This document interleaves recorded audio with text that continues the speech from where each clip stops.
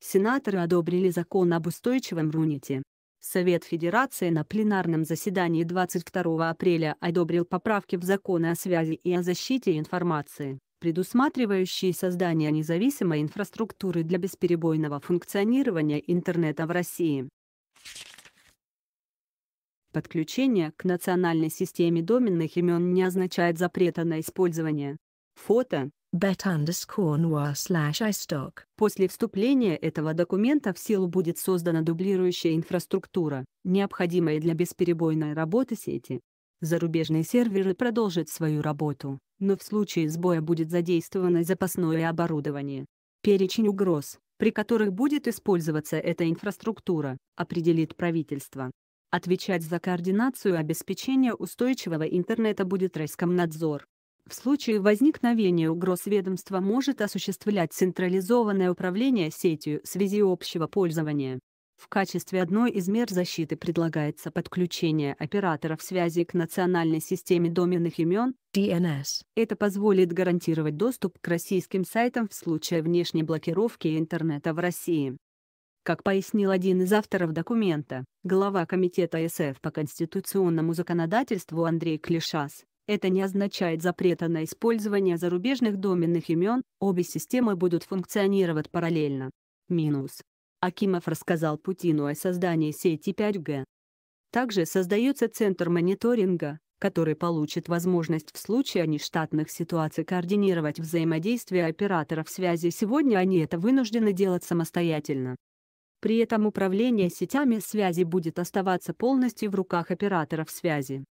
Закон об устойчивом Рунете позволит систематизировать материально-техническую базу интернета в России и повысить эффективность инвестиций в новые технологии.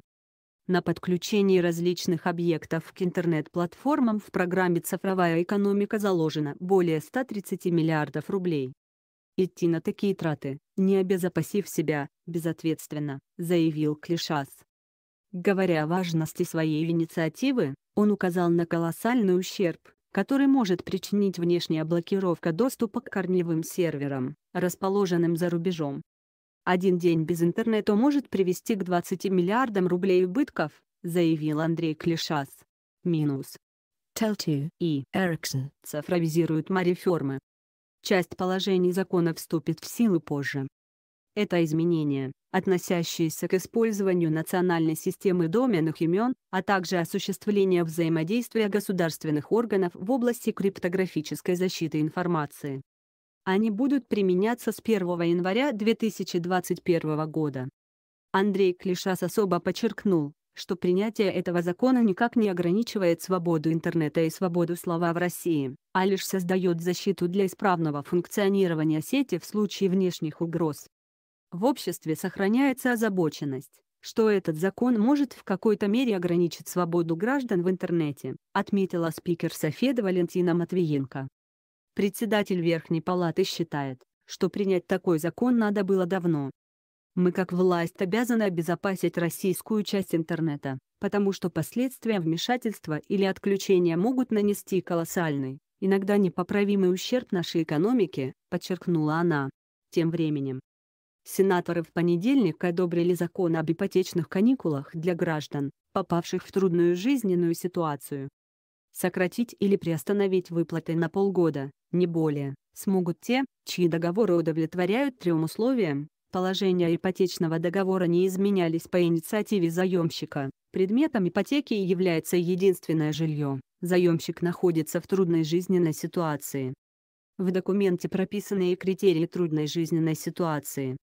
Это потеря работы с регистрацией на бирже труда, инвалидность I или 2 группы, временная нетрудоспособность на срок от двух месяцев, снижение доходов на 30%, доля выплат по ипотеке более 50% от среднемесячного дохода заемщика. Претендовать на каникулы также можно в случае расширения состава семьи за счет иждивенцев, если в итоге совокупный доход заемщика снизился на 20% а выплаты по ипотеке превысили 40% от среднемесячного дохода. Максимальный размер кредита, по которому могут быть предоставлены каникулы, определит правительство. После подписания президентом закон вступит в силу через 90 дней после официального опубликования. Его положения распространяются как на новые, так и на действующие договоры ипотечного кредитования. Власть, работа власти, внутренняя политика, законодательная власть, Совет Федерации, правительство Минкомсвязи, Роскомнадзор, законодательство об интернете.